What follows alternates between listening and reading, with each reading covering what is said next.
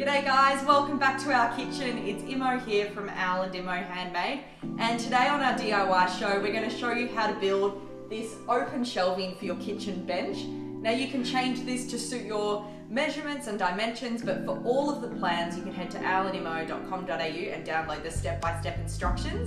I designed this a little bit inspired by walking into like a homeware store and seeing how beautifully merchandised everything is. So I measured all of my bits and pieces, created the plans on SketchUp and sent it over to Al to build it for me this week.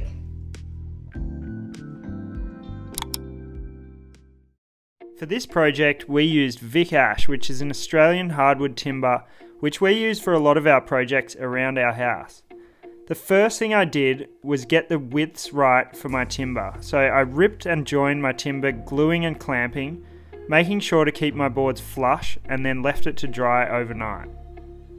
Once dry, I cut all of my pieces to length. You can download all of the measurements and step-by-step -step instructions for this project at alandimo.com.au. Next I sanded all of my pieces smooth, making sure to remove all of the glue. Using glue and a nail gun, I started to construct my shelf. I also used clamps to ensure my joints were tight and checked to make sure each piece was square as I nailed it in.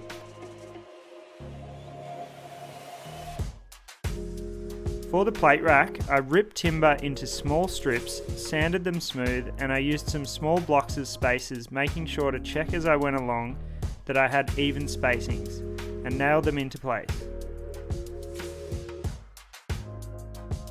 Then I punched any nails left sticking out with my hammer and nail punch. Now that all my pieces were joined, I sanded all of my joins flush and edges smooth.